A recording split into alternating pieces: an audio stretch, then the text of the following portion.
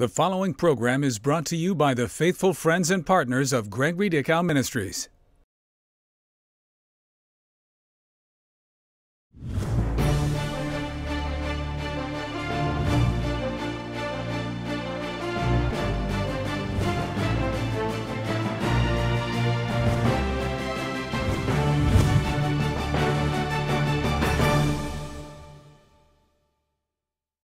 I want to welcome you to the power to change today. And I want to share with you today out of one of my favorite verses in the whole Bible, out of Psalm 34, verse 19. Perhaps it's one of yours as well. Many are the afflictions of the righteous. Now, I don't want to end there, but stop there for a second and realize we all go through afflictions, don't we?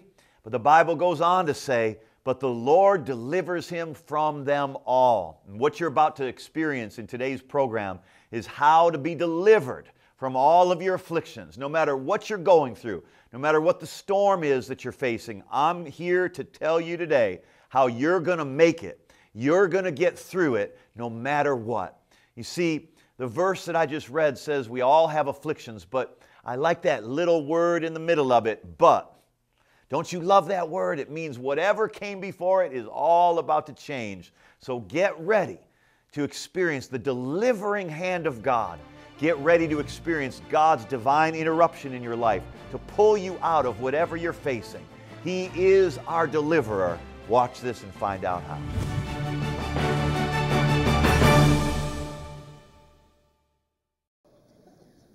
Hey, gang, we all know what it's like to go through stuff, to go through trials and temptations and tests and affliction, bad stuff. People have always asked the question, why does bad stuff happen to good people? That's the wrong question to ask. The, the better question to ask is, what happens after bad stuff happens to good people? Here's the answer. After bad stuff happens to good people, the Lord delivers him out of all the bad stuff. I don't know why it all comes. I just know that it can't stay. I know that whatever you're going through right now, God promises in His Word that He will deliver you and He is your deliverer. Say it, the Lord is my deliverer. And I want to talk to you about God's delivering power and God's delivering hand, no matter what you're facing right now. Many are the afflictions of the righteous, but the Lord delivers him out of them all. By the way, this word affliction, it means painful emotional experiences, painful physical experiences, painful financial experiences, and painful spiritual experiences. Listen, this is what it means the word affliction painful emotional experiences, painful physical experiences, painful financial experiences, and painful spiritual experiences. Now, you may have found that to be the case in your life for one of those or all of the above. How many are like E, all of the above? We've all had painful experiences, and it's, it's unscriptural to try to pretend that, that, that we don't have them. And it, but it's also unscriptural to accept them as the final sentence of our lives. There is not a period after the part of the verse that says, Many are the afflictions of the righteous. There's not a period, there's a comma. Many are the afflictions of the righteous, comma, but the Lord delivers him out of them all. Aren't you glad for punctuation like that?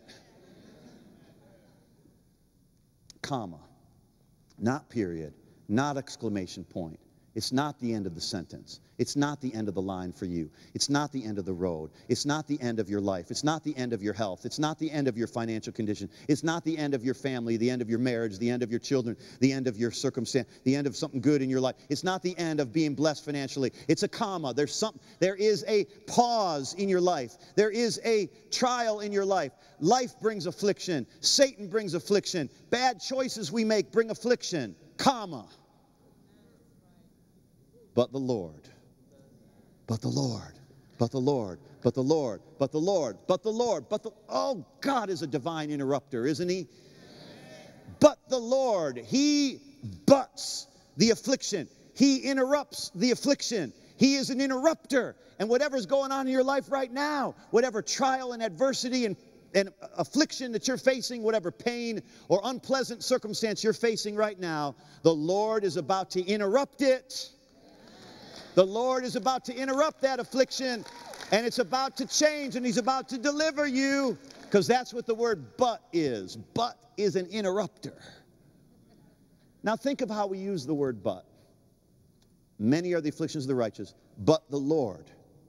Whenever we use the word but, it means zero. It, it means to cancel out what came before it.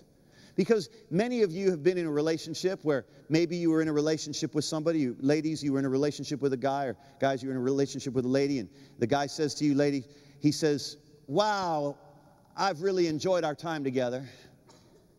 And wow, you really have amazing qualities about you. And boy, do I really like you. But how many know that what he what he just said means nothing. And the only thing that matters is what he's about to say. Because the word but cancels out everything that came before it. And that's how God is. No matter what's going on in your life, when God interrupts it, it doesn't matter what's come before. What matters is what's about to happen. Doesn't matter how bad it's been, what matters is what God's about to do. Let me give you some things God delivers us from in the Bible. Uh, um, here's a, just a few things. He, he, he delivers us from our enemies. 1 Samuel 17, verse 46. He delivers us from all of our troubles. Psalm 34, verse 17. He delivers us from all of our enemies. 2 Kings chapter 17, verse 39. He delivers our soul. Psalm chapter 6, verse 4. He delivers us from poverty and lack. Job chapter 36, verse 15. He delivers us from temptation. 2 Peter chapter 2, verse 9. Does that make sense? I know some of you might be writing it down. Get the CD. he delivers us from fear. Hebrews chapter 2, verse 14 and 15. Hallelujah, he delivers us from fear. 2 Timothy chapter 4 verse 17. He delivers us from the mouth of the lions. Delivers us from the mouth of the lions. Delivered Daniel from the mouth of the lions, didn't he? Delivered Shadrach, Meshach, and Abednego from the fiery furnace. Help me now. He delivers us from evil in Matthew chapter 6, verse 6 through 12 delivers us from evil. He delivers us from persecution and affliction. Go to um, first, go to Second Corinthians quickly, chapter 1. Oh, you're going to like this verse. Oh, I fell in love with this verse as I was um, studying this and trying to understand this a little bit better. Second Corinthians chapter, chapter 1. And let's look at verse 8, he says, But we would not, brethren, have you ignorant of our trouble. We want you to know, man, we went through trouble for you. We don't want you to be ignorant of all the trouble which came to us when we were preaching the gospel in Asia. We were pressed beyond measure, beyond our strength.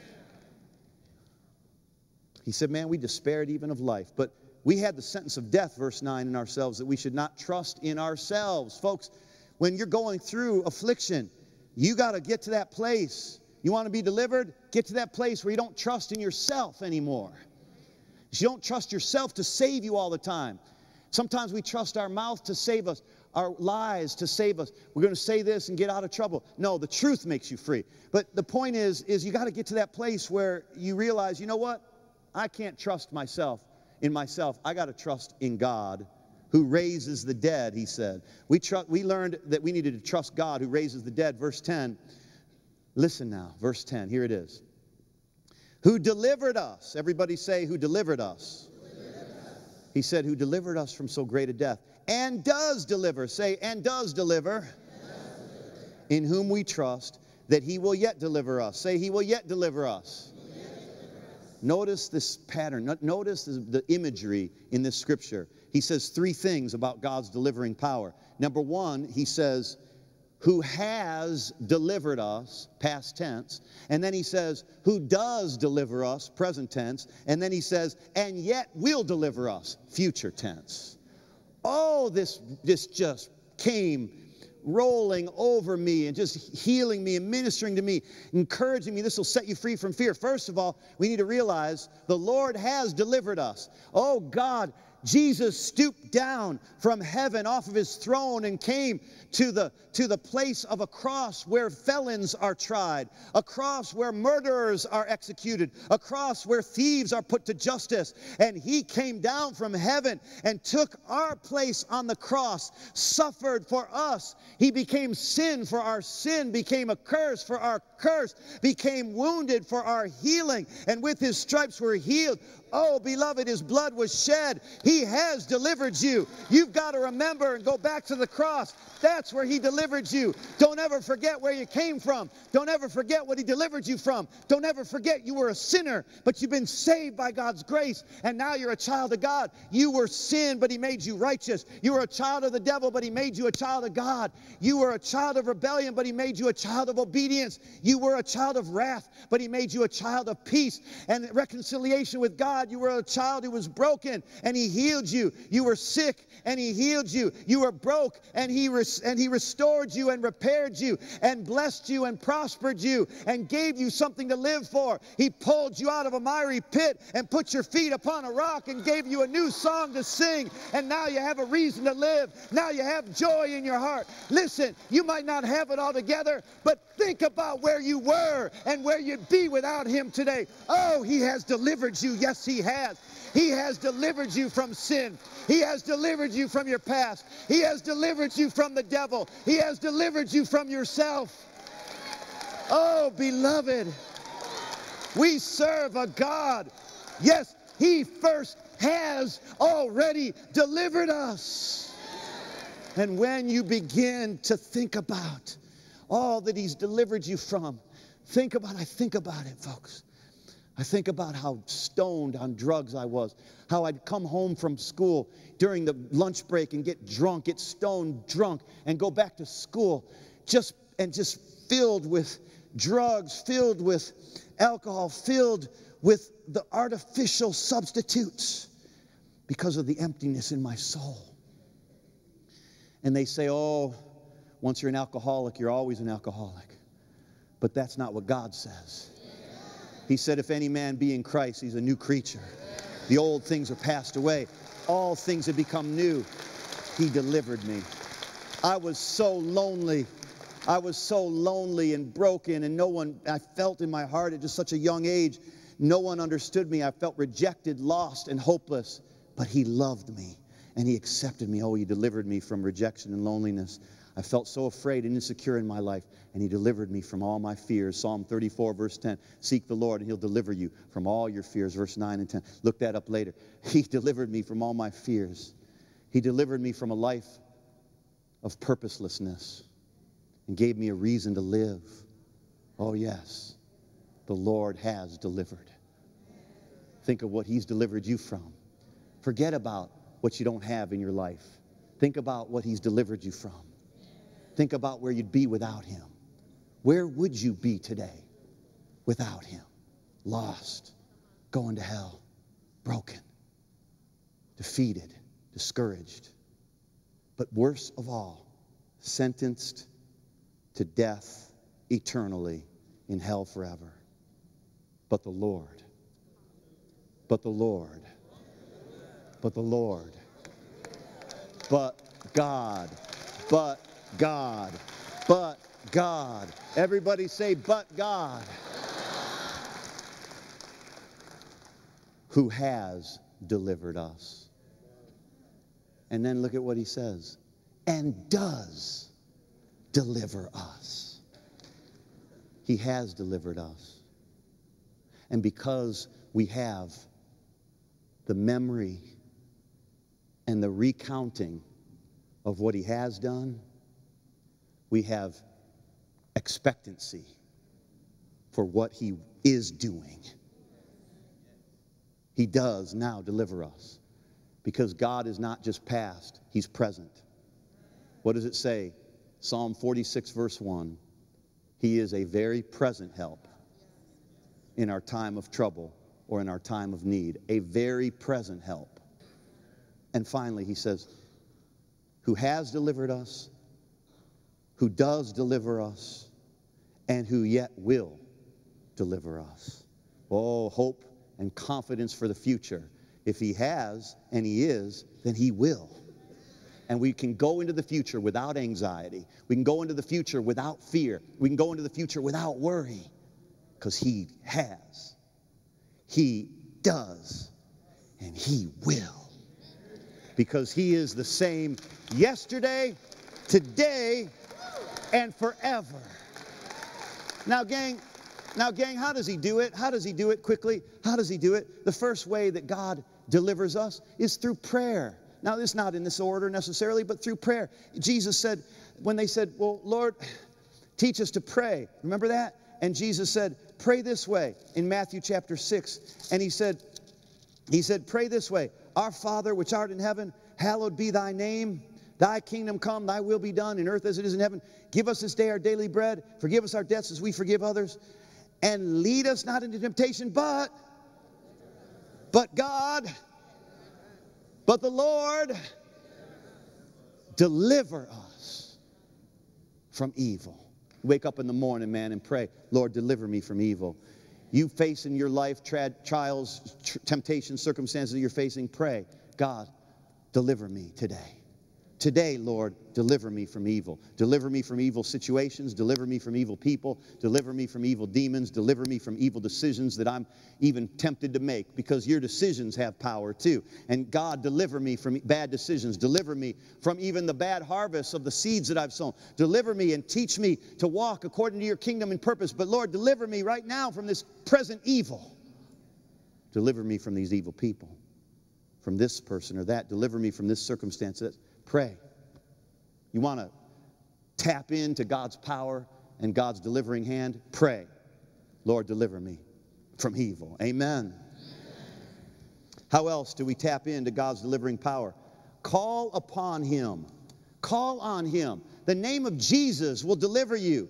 Jesus will rescue. There are people that have been that, that have been in plane crashes going down and calling out when everybody else is dying, and they call out on the name of Jesus, and the Lord deli- has delivered them. This has happened, folks. Other people that have called on the name of Jesus and they've been rescued from circumstances and situations. Call on his name. Romans chapter 10, verse 13 says, For all who call upon the name of the Lord shall be saved. But the word is actually, all who call upon the name of the Lord shall be delivered.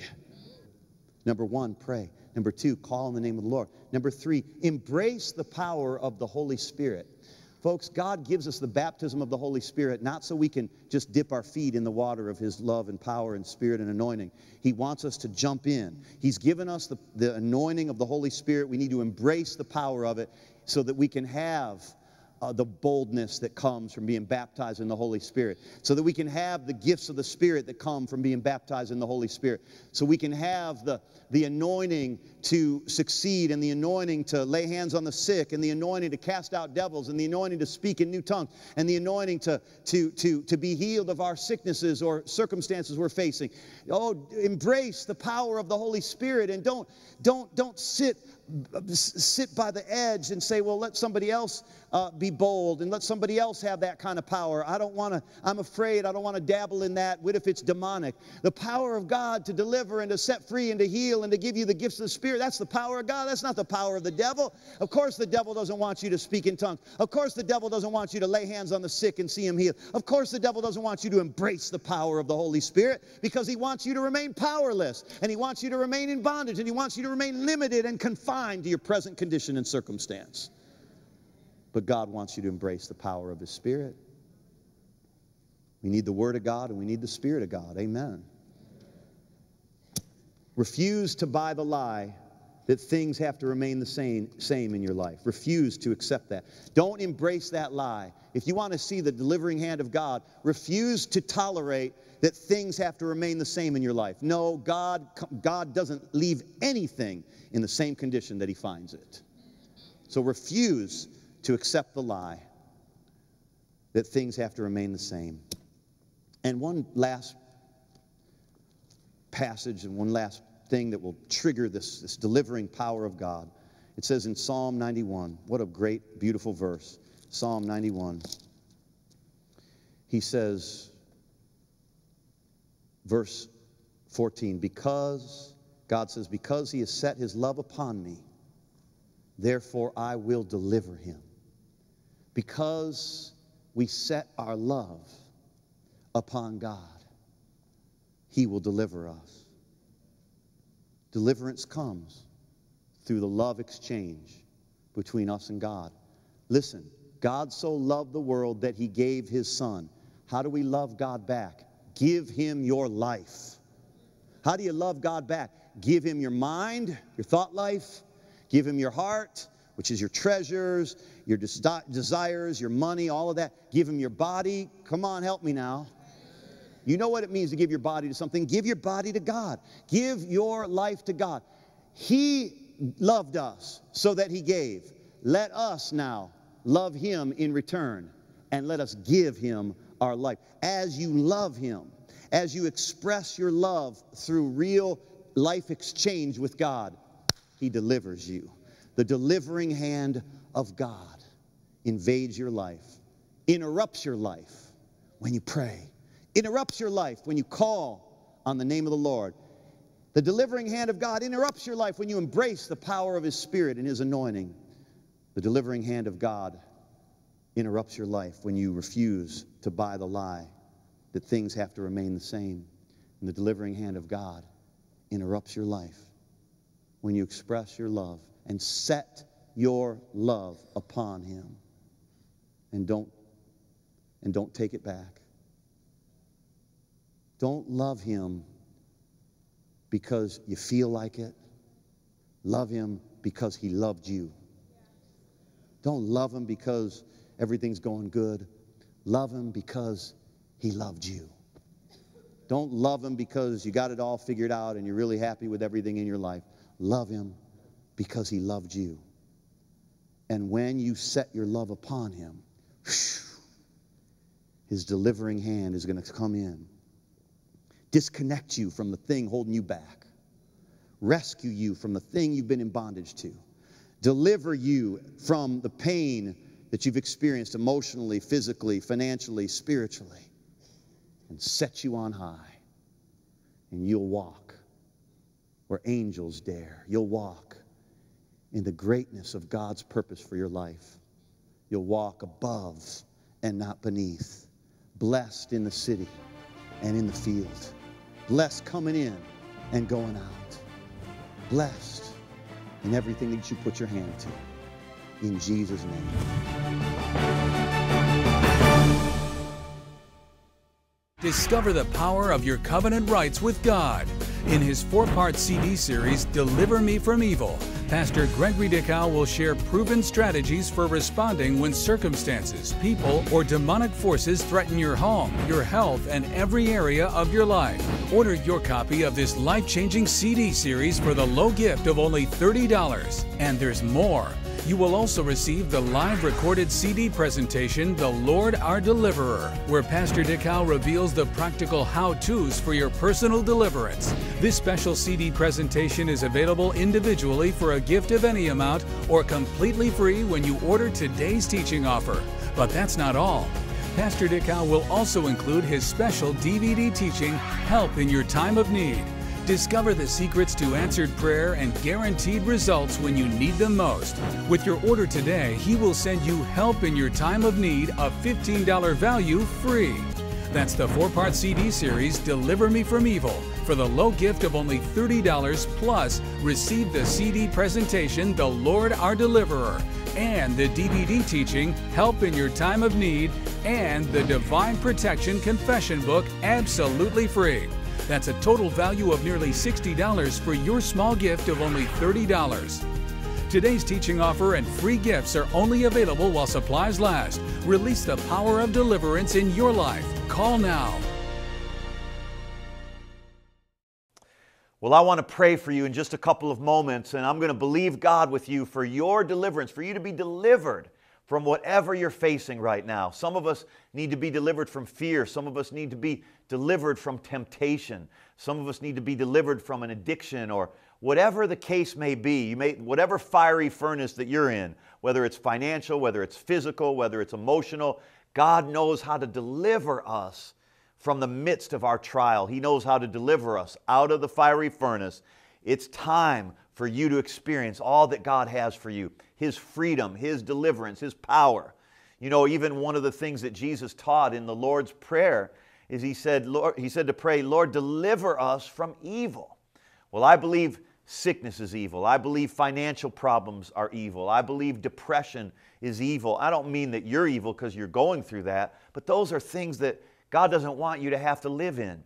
God said that He would deliver us, and He wants to deliver us. And I've put together now some teaching that I want to put in your hands, and I want to equip you with these delivering tools and help you to experience the hand of God intervening in your life. So, get my teaching. My announcer already told you about Deliver Me from Evil, which will show you step by step how to experience the delivering hand of God, how God will interrupt you in the midst of, or interrupt your negative circumstances and intervene in your life.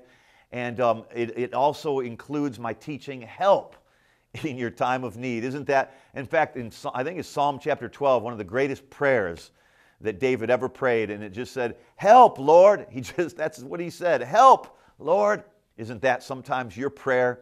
Maybe that's all you can get out of your mouth. Well, you know what? I'm going to show you simply how God will bring the help that you need and how God will bring the protection that you need. And I want to send you today's teaching in its entirety and put it in your hands. My announcer will tell you more, and I'll be right back to pray for your supernatural deliverance right after this. Watch this. That's the four part CD series, Deliver Me from Evil. For the low gift of only $30 plus, receive the CD presentation, The Lord Our Deliverer, and the DVD teaching, Help in Your Time of Need, and the Divine Protection Confession Book, absolutely free. Today's teaching offer and free gifts are only available while supplies last. Release the power of deliverance in your life. Call now Well, no matter what's coming against you right now, no matter what you're facing, no matter what fire you're in the middle of, God is your deliverer and He's going to deliver you. Let's agree together right now. Father, you know what my brother is going through right now. You know what my sister is going through right now. You know what each person is facing right now. And I'm asking you to intervene supernaturally, to deliver them from temptation, deliver her from the fear Deliver him from the discouragement. Deliver her from the depression. Whatever each viewer is facing, Lord, I thank you for your divine hand of deliverance, turning their situation around, intervening, and rescuing them now. In Jesus' name, amen. Well, the Lord is your deliverer, and when you know that, everything's going to be all right. Don't miss our next broadcast. Do what my announcer said, it'll encourage you and bless you, and I can't wait to see you then. God bless.